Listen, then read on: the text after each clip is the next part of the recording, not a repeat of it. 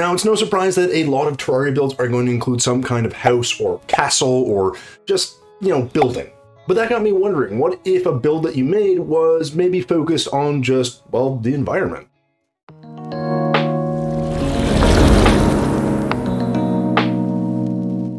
Hey Terraria fans, welcome back to another speed build video. Guys, in this one we're going to be making this really awesome chained island, and I know I kind of said at the beginning that, well, this was really not the focus of the build. It's not actually the island piece, which, by the way, takes some pretty heavy influences from uh, Kami's Tower in Dragon Ball Z. Yeah, that's a thing. Anyways, anime nerding aside, yeah, the focus of this build is not necessarily the island piece itself, which is being held down by some really cool looking chains. It's actually the tree on top, which really kind of brings this whole thing together. And I actually spent a lot of time on it because I wanted to make it look a little bit different and a little bit more uh, grand, let's say. Now, overall, this build needed a lot of texture and a lot of elements, and I think we accomplished that in flying colors despite using a very basic color palette of, I believe, just really white and gray. And on the topic of things that are boring, let's talk about my stream, which you can check out live on Twitch, link is down below, and catch us actually making some of these builds live in person. Additionally, guys, if you're enjoying any of my dry, terrible humor or any of the actual builds here on the channel, feel free to hit the like, the subscribe, or the uh, little dinner bell thingy so you can know when the next video hits the old YouTube universe. And as always, with shameless plugs out of the way, let's get to the build, shall we?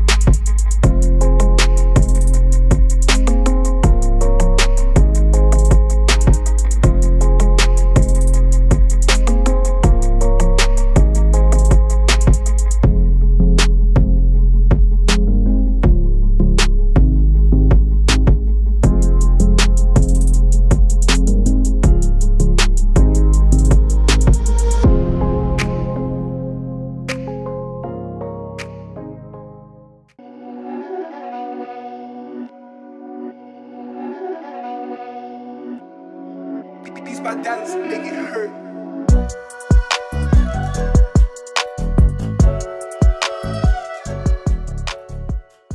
Alright guys, so there you go, there is our chained island build done. Again, I just really like some of the texturing. I think it really does have a nice kind of feel to it. It looks kind of complex, but honestly, we just used a bunch of different layers that had the same kind of colors. And yeah, it's not too crazy. We did make use of marble, uh, some of the team blocks or team player blocks, I forget what they're called. Uh, I believe the yellow one that we painted white.